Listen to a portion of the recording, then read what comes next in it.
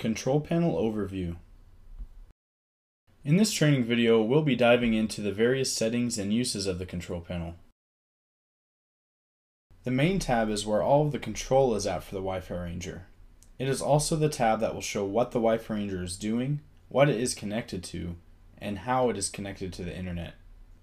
The three colored windows at the top are status boxes. They are Wi-Fi, Internet, and Cellular.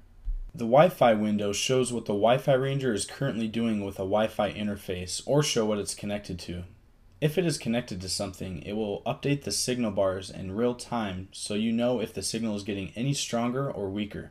It also gives the control of choosing which radio to control or view messaging for. When I have internal selected, it will show all messaging for the internal radio status of this Wi-Fi Ranger. Also, all control options will be done with that radio, such as scans, joins, or ranges. If I choose Wi-Fi Ranger Boost or Wi-Fi Ranger Control, then all messaging and control will be for that instead. You can even toggle between different radio buttons to compare scan results, speeds, and other information. The Wi-Fi status window also has a small drop-down arrow to show range options and real-time connection information. Next, the Internet window shows whether the Wi-Fi Ranger is online or offline. If it's online, it will say how it's online with which interface it's using to get internet access. It will also say if the Wi-Fi Ranger is currently processing or working on a task. The Auto Connect button below the messaging starts an automated process to try to find an internet connection in any way the Wi-Fi Ranger can. It's a one-click way of attempting to get the Wi-Fi Ranger online based on the order from the Setup tab. The last window is the cellular window. It is where all information about cellular internet connections are shown. If a supported USB modem or tether device is plugged in and connected, this window will show the signal strength and speed of the connection. You can also tell the USB modem or tether device to connect or disconnect here.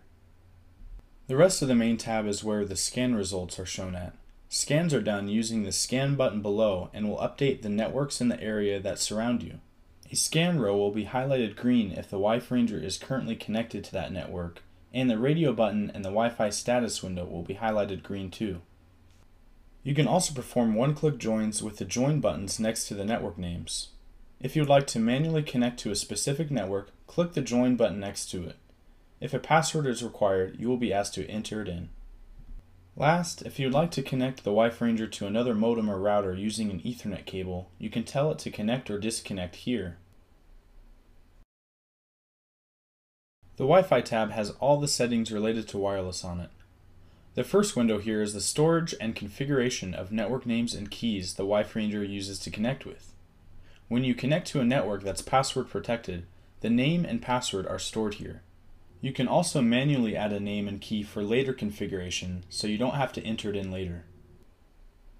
The second window here is for network tokens. This is where you can prefer or avoid certain networks, or even set a network as a last resort for a Wi-Fi connection.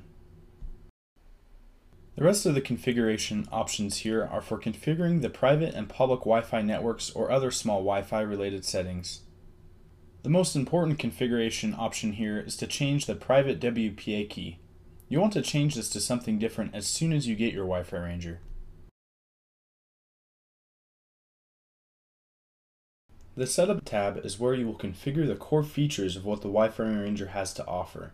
Features such as failover, swapback, and hot standby are all configured here. The first half of the page is related to setting up the interfaces the Wi-Fi Ranger can use to get an internet connection. The order column determines what interfaces it will try to use for an internet connection, while the active column tells whether the device should be used or not. If it's active and configured, the Wi-Fi Ranger can use it as a possible connection. The settings column has a gear icon. Clicking this gear icon will expand the settings to configure specific interface information. The connection automation window is how often the Wi-Fi Ranger checks for internet to make a decision to start the failover process or not. If failover is enabled, it will start an auto connect based on the order above. The more frequent the checks, the more sensitive the Wi-Fi Ranger will be for internet drops. The system preferences are where you simply turn on or off some basic Wi-Fi Ranger features, the main being failover and initial auto connect.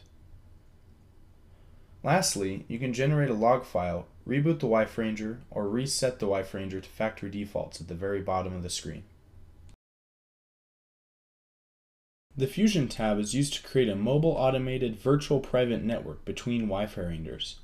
A common use scenario with Fusion is to have one Wi-Fi ranger at home and one Wi-Fi ranger while traveling. If both are in the same Fusion network, all devices behind the Wi-Fi rangers will be directly accessible by each other, so media drives, printers, computers, and other devices can be accessed as if you were there. More information about Fusion will be in a later video. The Advanced tab is where advanced network settings can be configured. Most of our customers will not need to use or know about the Advanced tab. This is where things like port forwarding, DNS settings, DMZs, and private LAN aliases are all set up. The Status tab has no controller setup options. It just gives you some information that may be valuable. It's broken down into three tables. Connection information shows the current IP address and default gateway of the Wi-Fi Ranger, as well as information about the IP if it's central fuse capable or not. The device information is to show MAC addresses and IP addresses of the Wi-Fi Ranger interfaces in case you need to know those. Lastly, the currently connected table is to show what has recently connected on your Wi-Fi Ranger and shows the IP, MAC address, and what network they were on. Thank you for watching the control panel overview. For more specific information about Wi-Fi Ranger features, please watch our videos at our website, www.wifiranger.com.